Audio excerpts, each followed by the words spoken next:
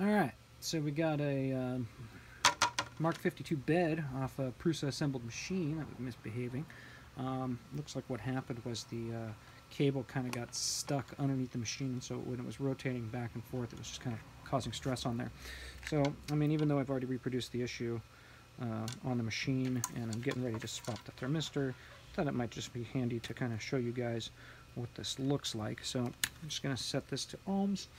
And, um, you know, 150 is about what you should expect to see on the resistor uh, when everything's working correctly. And, oh, what, what happened there? Oh, that's not right. Let's see if we can do that again. Pretty stable, looking good, and then obviously it's responding right now, so it's going to change resistance as I touch it. But we should be nice and stable around 100k. But as I tweak this thing, oh no, Oh, now it's good. Oh no. Oh no. So when this happens, this is what causes the thermal runaway.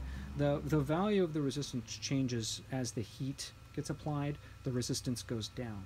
Okay, so when it gets hotter, it gets less resistance. All right, so when you break and it goes way down or way up in resistance, the machine responds appropriately you know so it, it, cuts off the heat. And then as it sees it jump it mm, if basically the temperature it's trying to hit if it falls outside of the window of where it's trying to be if it's not following correctly it causes a, a hysteresis error. So you know the temperature is trying to increase and if it doesn't increase within a particular time frame like it's increasing too slow compared to the rate then machine shuts off and you get these temp errors. But this is because of a physical issue so you know we're going to swap it. No big deal so anyway, basics are, you know, you got to remove the bed out. Then you're going to remove the little holder dingus.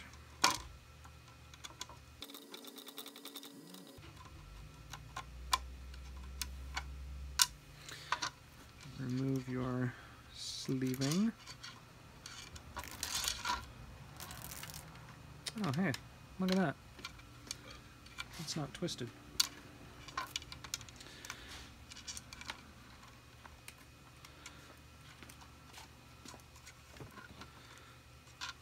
Okay, and we are going to attempt to save this Kapton tape.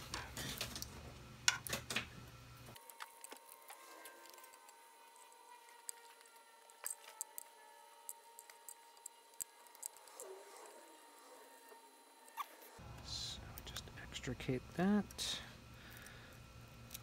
I've got some more tin tape, so I'm not going to worry about this. And then it looks like they routed it sort of in the crotch of those cables, which I haven't seen before, but okay. And yeah, this thing just got pinched. So I'll swap in the replacement. Alright, so we got the old sensor off, and I'm just taking a look at things, and I'm really not liking the kinks that I'm seeing in this cable, so I'm going to go ahead and swap that as well, since I've got that in stock. So that is just going to be a matter of undoing the screw on the bottom there, and then the two lugs. So this will remove clamp.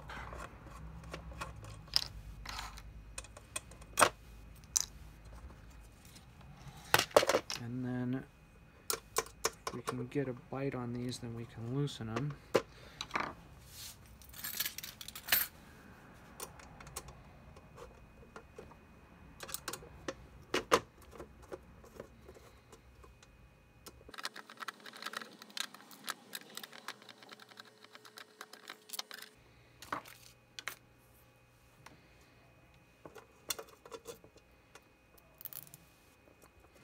Washers absolutely must go on top of the lugs.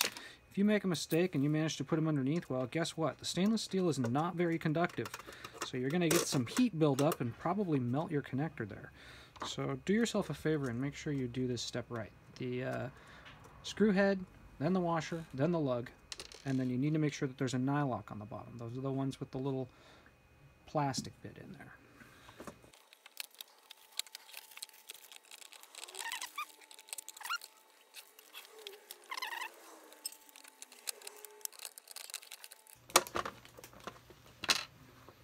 these down. Flush. Now we can go ahead and reinstall this.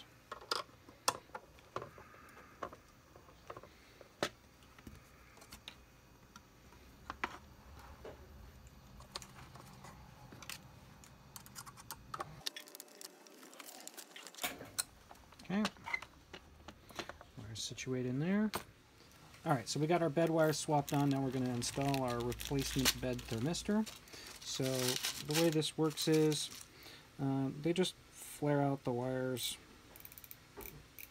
just to keep it flush on the bed, I guess. And then uh, it's going to go right on that little spot right there. That's what you're going for. And um, I'll just uh, you know what? I'm going to go grab myself a piece of tin tape. I'll be back here. I'm going to keep this one for a field repair. Hang on. You keep plenty of the good stuff in hand, so you can just cut this stuff. Some reasonable quality shears. So, anyway. Place your sensor so that the uh, actual thermistor element is in the little circle. That's going to get sealed basically with the tin tape, foil tape.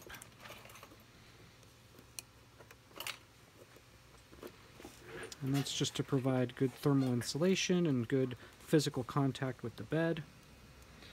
And then the Kapton wasn't damaged, so we're actually going to reuse that.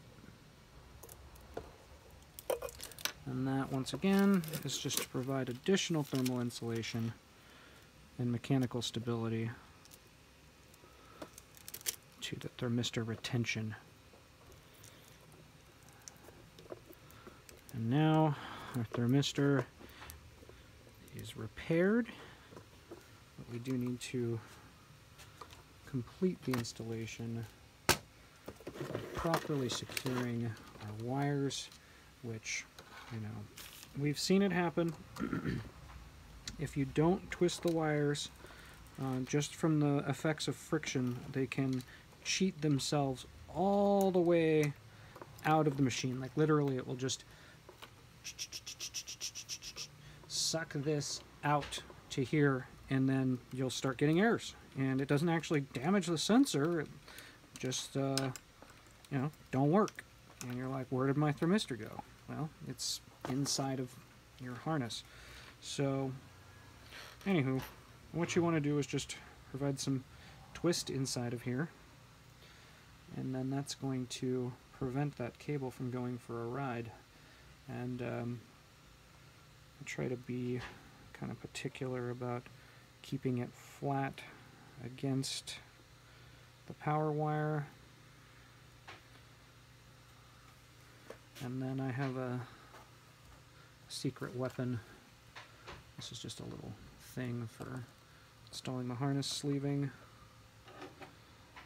So I'm going to go.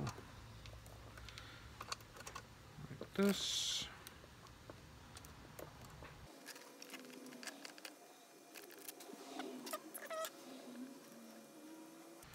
As long as it's twisted most of the way, that's going to be adequate.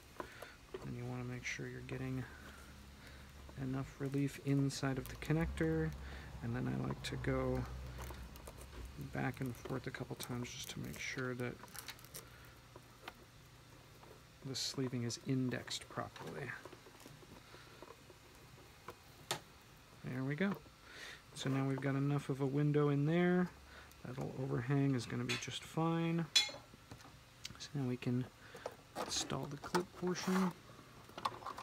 Making sure we've got that tucked in there, retained properly.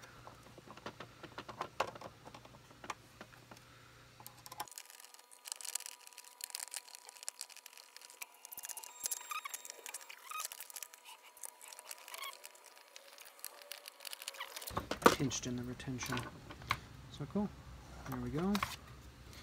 Bed's all repaired. Harness is all ready to go back on the machine. Looking good.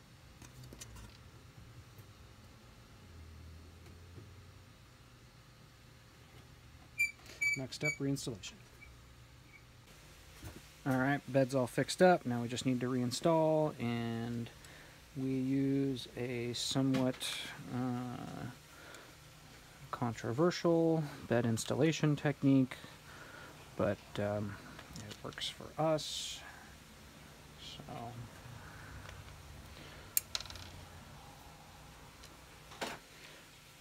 I would advise you to follow the instructions in the manual, but this is how we roll. So you get those nine spacers on there where they go. You get your bed.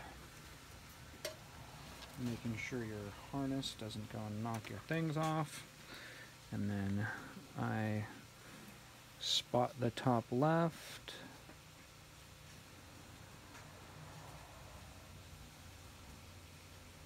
The middle and the bottom right. Oops.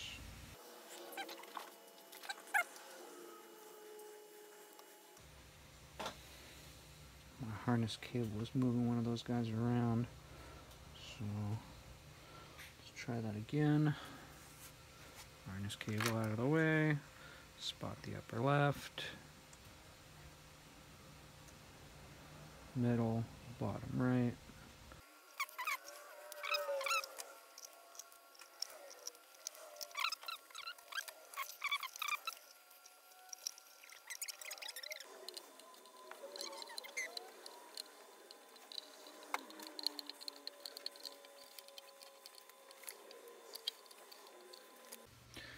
Alright, with our bed reinstalled on the top and our fasteners nice and tight, all we need to do is reconnect our wiring.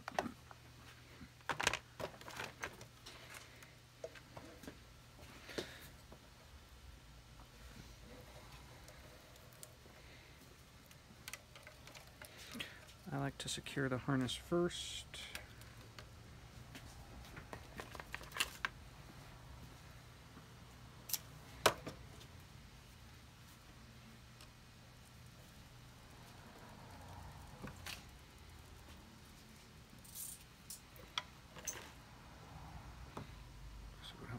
Actually see what I was doing there.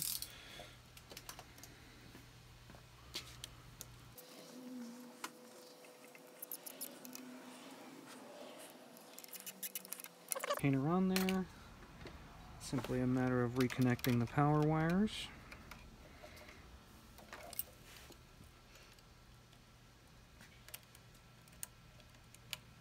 Negative on the outside, positive towards the frame making sure to support. finally, reconnecting your bed thermistor, which goes on the left of the three possible receptacles.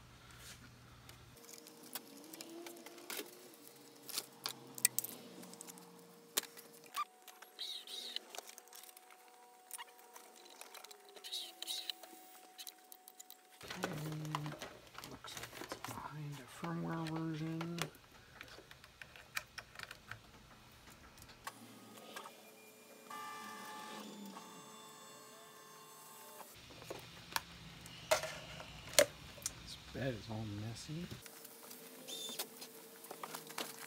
Acetone, pure acetone. Acetone and denatonium benzoate. This is what you need to use to clean the bed. This refreshes the surface. Alcohol is fine. 90% alcohol is fine. It will clean the bed. This restores the bed. This cleans the bed. This is what you need. This is good. This is better.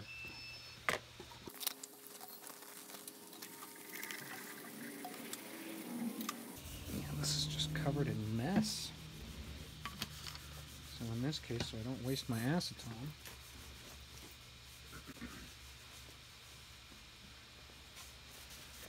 this thing needs a bath. Get rid of this glue stick on here.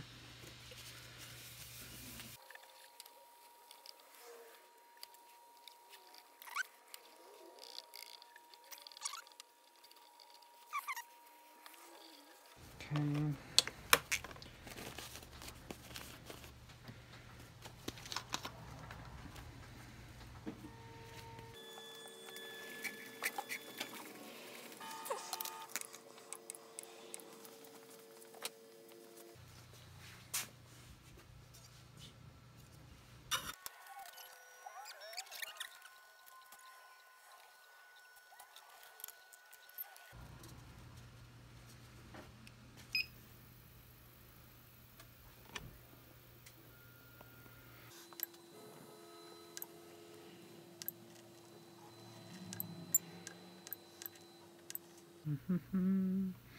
so just to recalibrate Z, I'm just going to zero out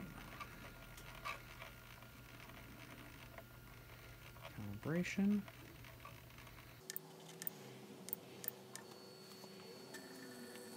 Actually, before I do that, because we've been working on the machine, it's kind of more critical that we run a calibrate Z.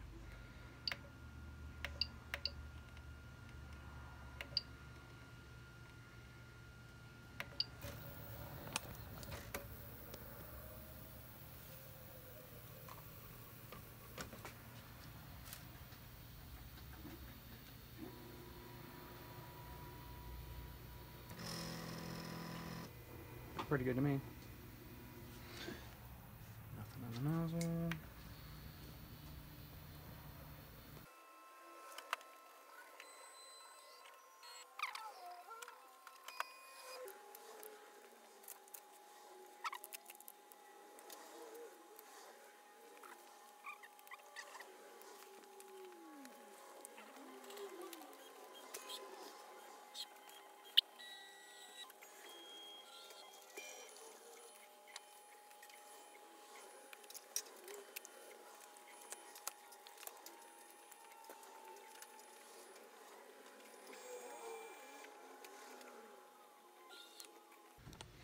That's what we want to see. Nice smooth top, nice consistent.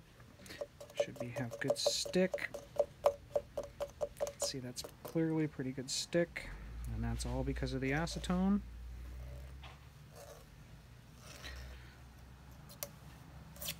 This is all a contiguous piece. It shouldn't separate.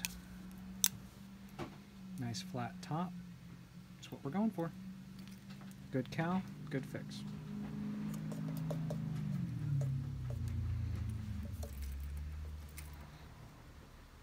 Thanks for watching.